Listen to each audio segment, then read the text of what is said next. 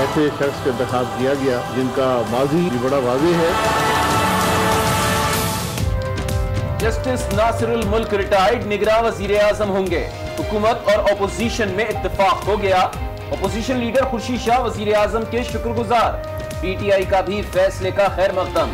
इमरान खान की ट्विटर पर नासिरुल मुल्क को मुबारकबाद। स्पीकर अयाज सादिक ने तारीखी दिन करार दिया।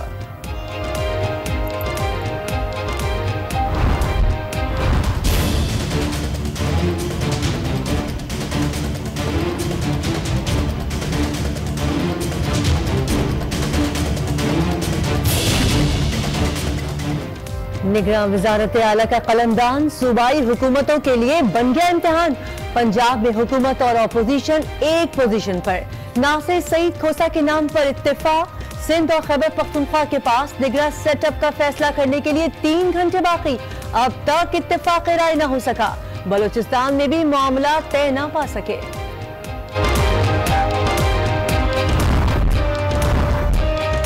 काम जो डिक्टेटर्स ना कर सके, वो पार्लियामान ने कर दिखाया। तहरीक इंसाफ के अली मोहम्मद की आज न्यूज़ के प्रोग्राम, फैसला आपका में गुफ्तगू। पीपल्स पार्टी के आजिज धामरा कहते हैं 2018 के इलेक्शन बेहतर होंगे।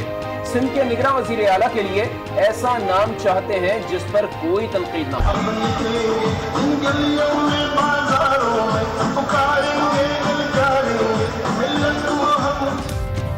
नून लीग के वर्कर्स कन्वेंशन में कारकुन का एक्शन सिक्योरिटी गार्ड्स का रिएक्शन लाहौर में नवाज़ शरीफ से हाथ मिलाने की ख्वाहिश, आजमाइश बन गई। गार्ड्स ने पीट डाला मरिया नवाज़ रोकती रह गई। मियाँ साहब ने मार के बाद मामला प्यार से निपटा दिया। पीट दे डाली, कारकुन खुशी से उछल पड़ा।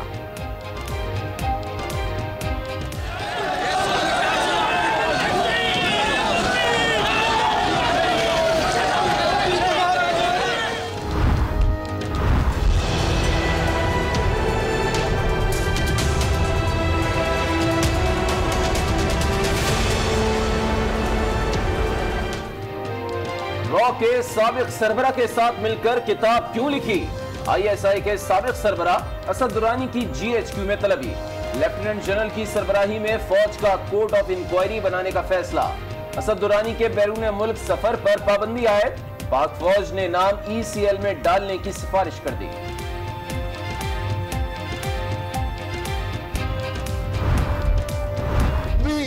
यहाँ बहुत से नारे, इलेक्शन में बहुत से नारे आते हैं। ये नारे भी आपके सामने आएँगे। लेकिन ये है कि जो नारे आज हमारे मुखालफीन लगा रहे हैं, वो काम है जो पाकिस्तान मुस्लिम लीग नून ने मुकम्मल कर दिए हैं। मुखालफी जो दावे कर रहे हैं, वो तरक्याती काम हम कर चुके वज़ीर आज़म शाहिद खाकान अब्बासी का दावा, कहते हैं नून लीग अवाम की खिदमत, शराफत की सियासत और मुल्क की तरक्की पर यकीन रखती है। जमहूरी निज़ाम में अवाम का फैसला ही हमेशा मुकदम होता है। अच्छी है ठीक है। आप चलें आप सेकंड क्वेश्चन मैं रोलिंग दे रही हूँ और आप कह रही हैं कि आप बात कर रही है। मैं रोलिंग दे रही हूँ बेटा। अम्मी जान। जी बेटा। तमीज से बात करना। मैं बिल्कुल अम्मी तो तमीज से ही कह रही हूँ। अम्मी को तो तमीज से कहूँगी ना। हमें अच्छी अच्छी बातें सिखाया करें। ये मंजन वंजन का बेचना ये मंजन तो बहुत अच्छी चीज़ है। सुबह कर लें तो मुँह से बदबू नहीं आती। पुराने जमाने के लोग करते थे अभी पेस्ट आया है। उस्तानी बनकर डराया तो कभी मम्मी बनकर समझाया। शेला रजा ने सिंध असेंबली में स्पीकर का किरदार खूब निभाया। जाते जाते दबंग अंदाज में मुआफी मांग ली। कहा जिसे कबूल करनी है करे नहीं करनी ना करे। काफ़ी लोगों को शिकायतें हुई। मैं उसके लिए माफ़ी की ख्वास्तगार हूँ। जो मेरे पास जुमले आए, मैंने भी जुमले गए हैं। मर्ज़ी है लोगों की दरगुजर करें या नहीं करें, मैंने तो कर दिया।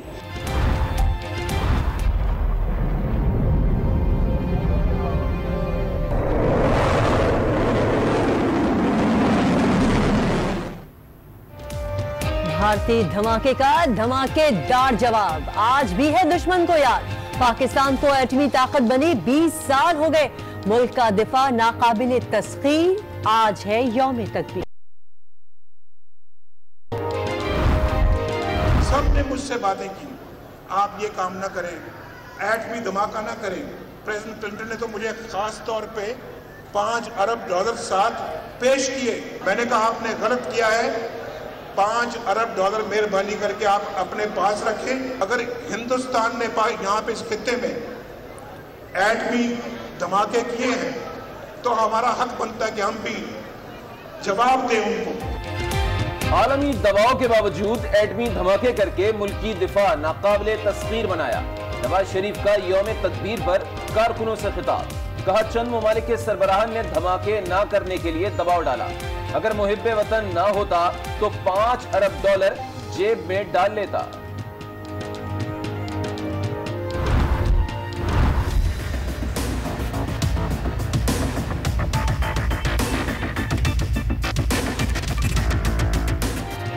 मेरा कसूर, सिर्फ़ नवाज़ शरीफ की बेटी होना है। एवन फ़ील्ड रेफरेंस में मरियम नवाज़ का बयान रिकॉर्ड।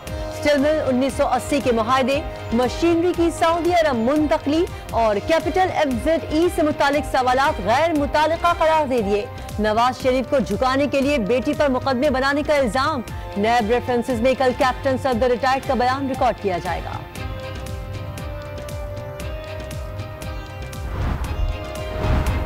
मुल्क से बदउनवानी का खात्मा पूरी कौम की आवाज़ है।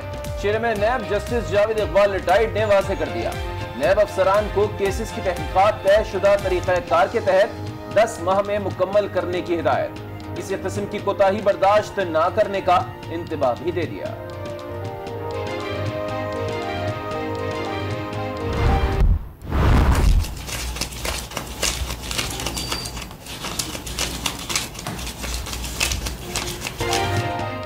सबक DG LDA Ahad Cheema case में अहम पेशरफ। नैब ने लाहौर में कार डीलर के शोरूम पर छापा मारकर एक करोड़ चालीस लाख रुपए बरामद कर लिए। रकम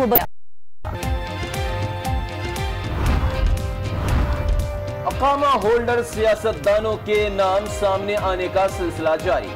पीपल्स पार्टी के नासिर हुसैन शाह और मंसूर वसान भी अकामा होल्डर्स निकले। सिंध हाई कोर्ट में नाअहली के लिए दरखास्त दायर कर दी गई। इंतबात के दौरान सिक्योरिटी बड़ा चैलेंज है। इलेक्शन कमीशन ने खदशात ज़ाहिर कर दिए। बीस हज़ार हसास पोलिंग स्टेशन की निशानदेही। पोलिंग स्टेशन पर पाक फौज की तैनाती पर गौर। सेक्रेटरी इलेक्शन कमीशन कहते हैं, इलेक्शन नतज की मॉनिटरिंग का तरीका और शहरियों की हवाइयाँ उड़ जाएँगी। हीट वेव की नई वार्निंग जारी कर दी गई। शहरियों को अगले तीन रोज तक मुहतात रहने की हिदायत भी कर दी गई। पाकिस्तान ने गिलगित बल्तिस्तान ऑर्डर पर भारतीय एतराजात रद्द कर दिए। भारतीय डिप्टी हाई कमिश्नर की दफ्तर खारजा तलबी, गिलगित भारत को मन घड़त एहतजाज के बजाय मकबूजा वादी से गैर कानूनी तसलुत खत्म करने की तमभी गिलगित बल्तिस्तान के लिए इकदाम को वहाँ की आवाम को मजीद बाख्तियार बनाने के सिलसिले का तसलसल करार दे दिया। डेरा मुराद जमाली में डीसी चौक पर पुलिस वैन के करीब धमाका। ग्यारह अफराज जख्मी हो गए। तीन पुलिस एहलकार भी शामिल।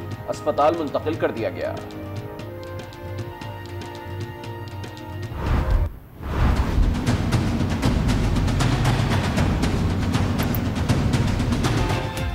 लाहौर सेशन कोर्ट के अहाते में मुलिम कत्ल, मुखालफी ने फायरिंग करके जान ले ली।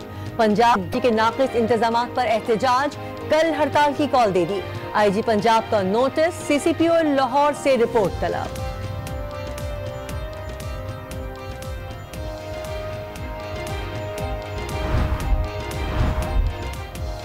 राव अनवर के ठाट बाट बरकरार। इंसदाद दहशतगर्दी अदालत में घर के कपड़ों में पेशी। जमानत और बी क्लास देने की दरखास्त पर वकला के दलाइल। राव अनवर ने अब तक जेल की शक्ल तक नहीं देखी और बी क्लास मांग रहे हैं। मकतूल नकीब के वकील का हुकूमत पर मुलजिम को सहूलियात देने का इल्ज़ाम। बी क्लास की दरखास्त पर फैसला महफूज। अदालत ने मफरूर बारह मुलजिमान के नाकाबले जमानत वारंट भी जारी कर दिए आज के सरबराहन भी शिरकत करेंगे। इस हवाले से मजीद जानते हैं आज न्यूज़ से शौकत पराचा हमारे साथ लाइन पे मौजूद है। शौकत बताएगा कौमी सलामती कमेटी का यहाँ इजलास कल फिर हो रहा है?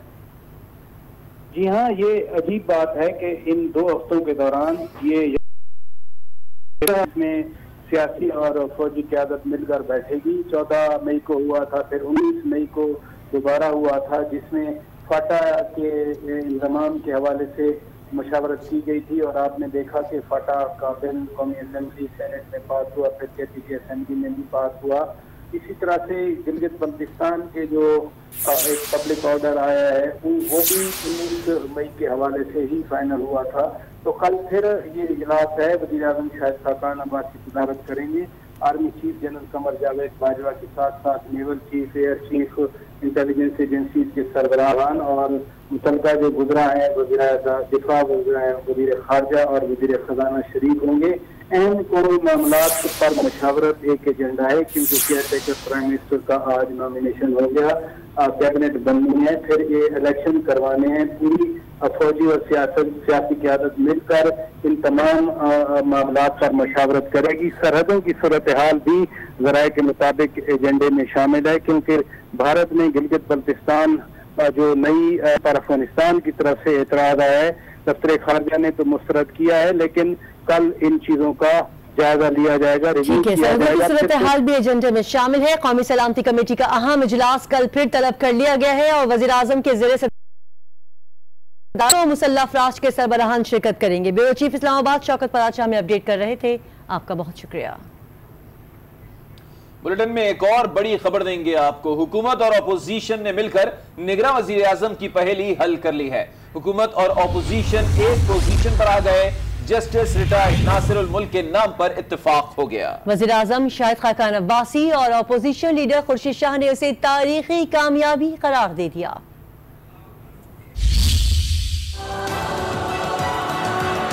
है मुल्क। एक ऐसे शख्स का इंतखब किया गया जिनका माजी भी बड़ा वाजे है। निगरान वज़ीर आज़म का फैसला हो गया। जस्टिस रिटायर्ड नासरुल मुल्क का नाम फाइनल वज़ीर आज़म शाहिद खाकान अब्बासी और खुर्शीद शाह ने ऐलान कर दिया। वो नाम है नाफरुल मुल्क का साहब जो चीफ जस्टिस ऑफ़ पाकिस्तान रहे हैं। अल्हम्दुलिल्लाह इतफाक राय पैदा हुआ। एक ऐसे शख्स का इंतखब किया गया जो जिनका माजी भी बड़ा वाजे है और इनशाला उनका रोल जो है वो as a caretaker prime minister भी मुल्क के और जमहूरी अमल के इनशाला हक में होगा। अपोजिशन लीडर खुर्शीद शाह ने आज के दिन को तारीखी करार दिया। वज़ीर अजम और स्पीकर कौमी असम्बली का शुक्रिया भी अदा किया। उसने बड़ा एक ब्रिज का काम किया। और यकीनन जैसे प्राइम मिनिस्टर ने कहा कि ये बहुत अहम आज मामला है एक तारीखी दिन है। तहरीक इंसाफ ने भी इसी फैसले का खैर मकदम किया है। चेयरमैन पीटीआई इमरान खान ने ट्वीट पैगाम में जस्टिस नासिर मुल्क रिटायर को निगरान वजी अजम मुकर होने पर मुबारकबाद दी है। उधर पंजाब में मुस्लिम लीग नून और पीटीआई में इतफाक हो गया। निगरा वज़ीर आला पंजाब के लिए नासिर सईद खोसा के नाम का ऐलान कर दिया गया है। नाम का ऐलान वज़ीर आला पंजाब मियाँ शहबाज शरीफ और अपोजिशन लीडर महमूद रशीद ने मुशावरत के बाद किया। वाज रहे कि नासिर सईद खोसा सबक चीफ सेक्रेटरी पंजाब रह चुके हैं। जबकि सिंध बलूचिस्तान में हुकूमत और अपोजिशन के दरमियान निगरा वज़ीर के नाम पर डेडलॉक बरकरार है। मामला पार्लिमानी कमेटी के पास जाने का इम्कान है। खैबर पख्तनख्वा में निगरा वज़ीर के नाम पर भी इतफाक नहीं हो सका। सिंध और पख्तनख्वा की हुकूमत की आईनी मुद्दत आज रात बारह बजे खत्म हो जाएगी, जबकि बलूचिस्तान की हुकूमत इकतीस मई को खत्म होगी।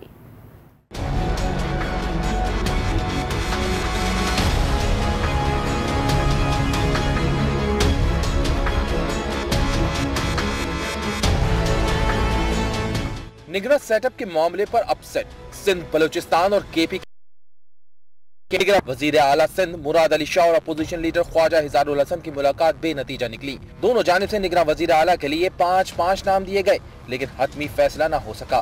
खैबर पख्तूनख्वा में भी निगरा वज़ीर आला पर हुकूमत और अपोजिशन में इतफाक न हुआ। इमरान खान ने मंजूर आफरीदी का नाम मुस्तरद कर दिया। अपोजिशन के अंदर भी निगरा वज़ीर आला पर इख्तलाफात हैं। बलूचिस्तान में भी निगरान वज़ीर आला के नाम पर हुकूमत और अपोजिशन में ताहार इत्तेफाक नहीं हुआ। मामला पार्लिमानी कमेटी में जाने का इम्कान है। आम इंतबात से जुड़ी बड़ी खबर देंगे आपको। इलेक्शन कमीशन ने इंतबात के दौरान सिक्योरिटी खदशात का इजहार कर दिया है। सिक्योरिटी खतरात इलेक्शन कमीशन के लिए बड़ी परेशानी का बायस है। इलेक्शन कमीशन इस हवाले से गौर किया जा रहा है। Secretary election commission Babar Yaqoob Fateh Mohammad का कहना है कि इलेक्शन नतज की मॉनिटरिंग का तरीक़ाकार वजह कर लिया गया है। किसी को नतज तब्दील करने की इजाज़त नहीं दी जाएगी। और बुलेटिन में अब ज़िक्र सबक वजी अजम नवाज़ शरीफ का, जो आज भी खूब गर्जेवर से। नवाज़ शरीफ का कहना है कि मुल्क को एटमी कुत बनाने वालों को गद्दार कहा गया। उस वक्त भी चंद कुतों ने दबाव डाला और जब मुल्क को इकतदी कुत बनाने जा रहे थे तो भी रुकावटें डाली गई। नवाज़ शरीफ ने कहा, जो किताब मंजर आम पर आई है, अब उस बारे में आवाम की क्या राय है?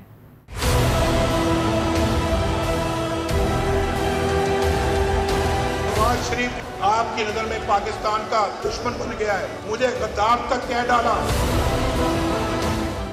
जिसने मुल्क को एटमी कुवत बनाया उसी के गले में गद्दारी का तोक डाला गया। नवाज़ शरीफ लाहौर में यौम तकबीर की तकरीब में बरस पड़े। दूसरे आँख के तारे बन गए हैं और नवाज़ शरीफ जो है वो आपकी नज़र में पाकिस्तान का कोई सबसे बड़ा दुश्मन बन गया है। ये ये ये कहते हैं ये समझते हैं मुझे गद्दार तक कह डाला। लेकिन जो कुछ आज जो आज जो किताबें सामने आ रही हैं उनके बारे में आपकी क्या राय है? क्या कहोगे इसको? नवाज़ शरीफ ने कहा हम एटमी कुवत बने। अब इकतसादी कुवत बनने जा रहे थे तो दोबारा दबाव डाला गया। हमने पाकिस्तान को एटमी कुवत बनाया है। हम इंशाल्लाह इकतसादी कुवत भी पाकिस्तान को बनाएँगे। नवाज़ शरीफ ने आम इंतबात का ज़िक्र करते हुए आवाम को 25 जुलाई के दिन वोट को इज़्ज़त देने का वादा भी याद दिलाया। उधर कहा कि नवाज़ शरीफ डिक्टेटर की तरह मुल्क से फरार नहीं हुए। उन्होंने अवाम का सौदा नहीं किया बल्कि पाकिस्तान को एक मज़बूत और तौर पर मुस्तकम किया जाए तो 25 जुलाई मुखालफी को करारा जवाब दें।